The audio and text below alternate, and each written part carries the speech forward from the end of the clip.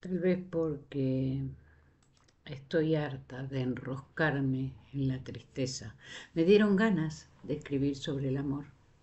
Será porque son días de desasosiego y el corazón avanza a duras penas en el desierto de la incertidumbre y sabemos que el amor es la brújula ideal para quien sueña encontrar la alegría.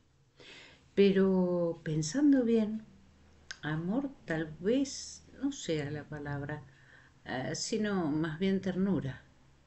Vea usted, pronuncie, paladee, muerda la palabrita, sienta el néctar. ¡Qué delicia!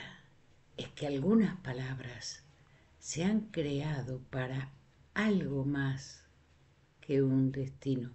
Son más bien el centro del corazón humano, laten, laten y nos enseñan a vivir, a persistir y a seguir siendo.